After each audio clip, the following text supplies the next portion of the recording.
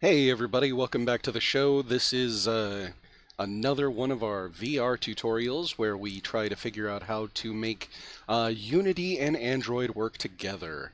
If I had an iOS account and an iOS device, then I guarantee you uh, we would be doing that instead. But uh, that doesn't mean that we can't do this. So uh, stick around because today uh, we are going to figure out how to get an animation to move uh, based on where you look. So, for example, uh, we are going to look over at this object here, and it will light up.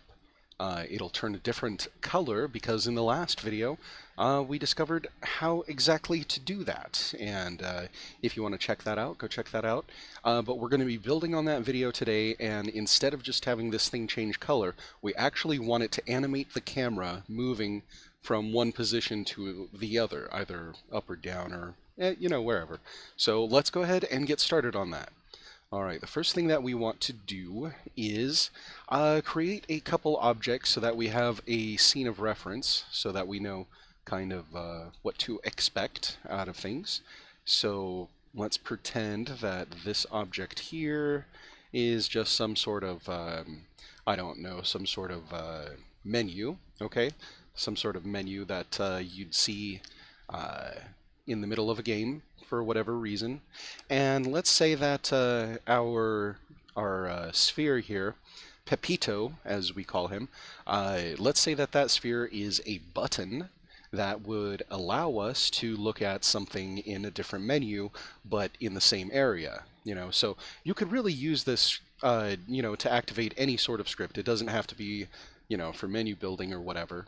But uh, we want to be able to, you know, pretend like this is uh, some sort of menu here, and that's some sort of button, and then when we click on that button, it's going to take us somewhere else. Uh, so it would be good for triggering uh, uh, cutscenes. So if you want to do some sort of cutscene where the camera moves on its own, this is exactly what you're looking for. So that uh, let's go ahead and uh, continue. So I want to call this one menu. All right. And I'm going to duplicate it and call this one, um, you know, other menu. Okay, it doesn't really matter what you call them. Um, I am going to give them some new materials. So let's go ahead and call this one menu. And we'll make another one. Doodle-doo. Menu 2. Or actually, we'll keep with the other menu. Other menu. Okay, so we're going to color other menu, something bright. There we go, that's perfect.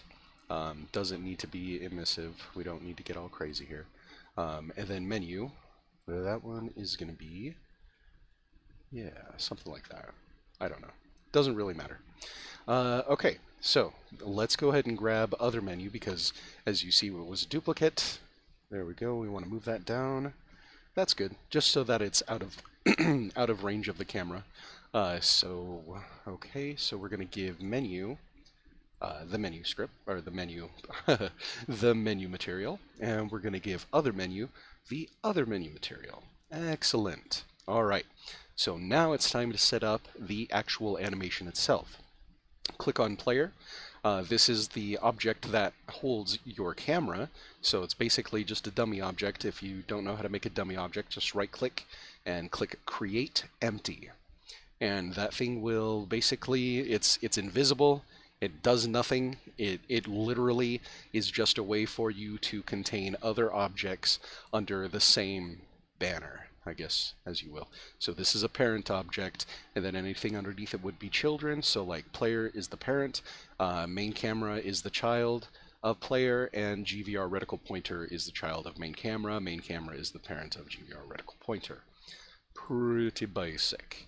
So that's how that's how hierarchy works. Okay, so uh, we are going to take this uh, camera and we are going to animate it moving down to here which is our other menu, right? Okay, that's good. So let's go ahead and put our, our camera back where it started. Um, hit Control Z so uh, you know it doesn't uh, get all wonky on you. We don't need that. All right, so we've got our we've got our object selected. go down here to animation. So if you can't, if you don't have animation opened already, go to window and then hit animation. And that's what you'll, what you'll need.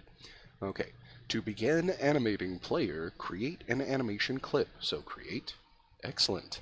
And we're gonna call this, um, descent. If I. Descentify. We are engaging in descentification. And not scent scent, but, you know, descent. Aha. Alright, so, now that we have an animation uh, area, let's go ahead and add a property. So, uh, we want to add position, okay, because we're only changing its position. So you can use your mouse wheel okay scroll it back and forth and it will shrink your timeline down. What we want to do is at least shrink it down to where you can start seeing these. Uh, when you start seeing it like this that means that they are actual seconds. You know that's uh, 1 30th of a second not 30 seconds. Alright so go ahead and grab this one the far end and drag it out to about 3 seconds doesn't really matter you know what the details are it doesn't um, yeah you don't have to be super specific Okay, so hit uh, record. All right, right now we don't have anything moving. So come over here to where it says go to next keyframe. That's this button right here, click that. And now our, uh, you know, our timeline is over here uh, and we want to move the camera. So let's go ahead and move it. Now this will only work if you see that uh, record thing lighted up, okay? You have to light up your record button. You have to be recording in order to make changes. Okay? So this is, uh, you know, a nice simple transition. We're not going to make a go back button. I don't think that uh, is quite necessary, but we do want to make a button, you know, to, we, we do want to make a way to see the other, other screen. Okay, uh, not other screen, but other menu. All right, so we have an animator and it is attached to our player. Let's go ahead and click on this. Um, huh. Well, I guess we don't need that one. Sorry. okay, what we want to do is we want to open up our animator window. That's not the animation window, but the animator window. Okay. Now, right now, it won't let us actually access that so what we will do to get around that is go ahead and hit the play button and then it'll automatically take us to what is playing. Excellent. Okay, so we were able to get in there. Um, now you're going to say to yourself, self, didn't that just start looping all over?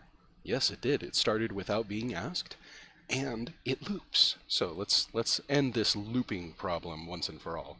Go to Decentify, because we are engaging in descentification, and you click loop time. Now, you will notice that while it begins without being asked, it is no longer looping. That's good. That's a good start. Now I want you to do something wild and crazy.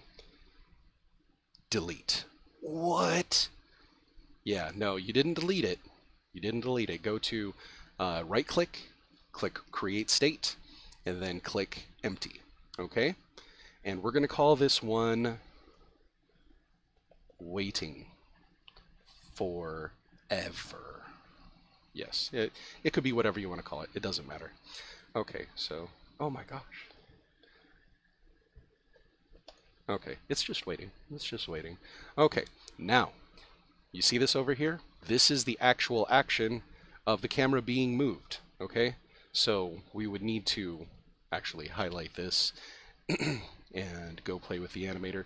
But anyhow, uh, let's go ahead and drag Decentify over here. Boom. Okay. You want this here because you don't want this thing to just start playing automatically. We want to we want to find a way to make this play when we want it to. Okay? So your ability to descend is still there. It's still here. It's just not automatically it's not automatically active when you begin your program, okay? Because it's just waiting. Exactly. All right, so what we need now is uh, to go into scripts. So let's take a look at the player here. We have an animator, and what we need is a new script. So let's create a C-sharp script, and we're going to call it descendify. Yes, there we go. Descendify. And as you can see, we changed the spelling on it so that we could tell it apart. But it's not really important. Uh, because you can name it whatever you want. Alright, so here we are. Let me, uh, you know what? Where's my... Can I drag this down a little?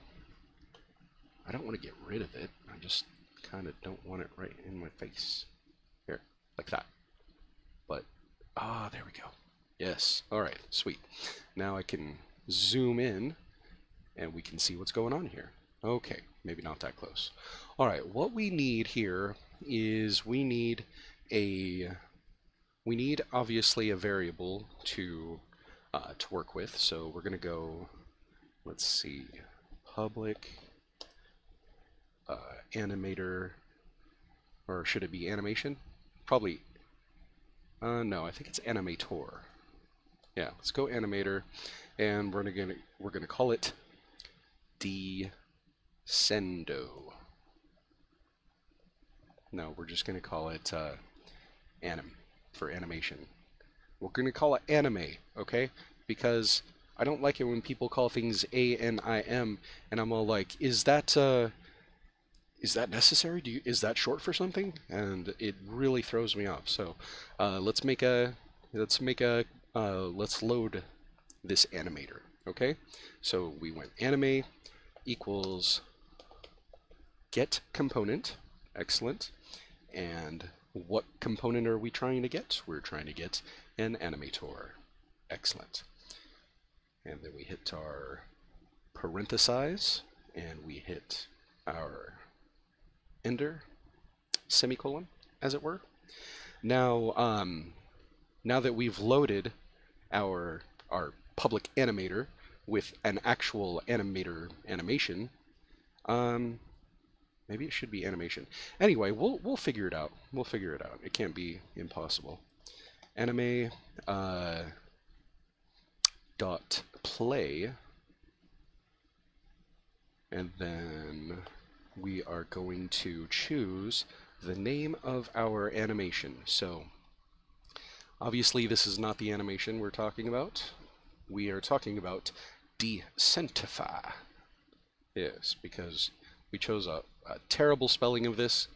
Copy. Excellent. And let's go back. And uh, we're just going to have to live with that terrible spelling. So go ahead and Control V. There we go. And we can semicolon out of that. So looks like everything's okay. We might need to change this to animation. I'm not positive but uh, we will find out. Okay, so what is our action item? As you remember, it's Pepito, our, our friendly neighborhood sphere that we look at. So Pepito, as you may remember, has a pro, uh, has an event trigger that gives us access to all sorts of cool stuff. What we want to do is we want to take this uh, animation and we want to drag Descendify onto it. Okay, so now Descendify is there, and if Descendify is active, let's see, it should automatically kick in. And it should, maybe it's Animator. Let's check that out. Or Animation. There we go.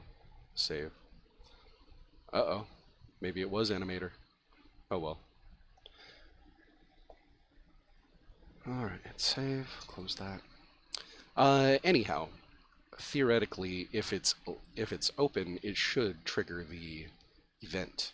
So, hmm, odd. Oh, there we go. Animator, player. All right, so let's hit play, and it should play automatically. Yes. Okay. Now, if we uncheck this, theoretically, it should not play. See? All right. Yeah, it's nice. All right, that means we're on the right track. Okay, so find your Pepito. All right, he's our he's our event trigger. He's our button. Pepito the Strong. Okay, here we go. Let's go down to the event trigger and look at what we have here. So we have a pointer enter and a pointer exit. So the pointer enter is for when your when your cursor or your reticle enters the area that the button is in, and your pointer exit is for when it exits out. Okay? So what we want to do is we want to attach this anim or this script right here. We want to make this script right here become active when we take our reticle out of here. Okay, and like I said, that could be for all sorts of reasons, but what we're doing right now is just to move it to a different area. So you can use this for, you know, cutscenes, you can use it to activate birds flying out of the trees or something, I don't know.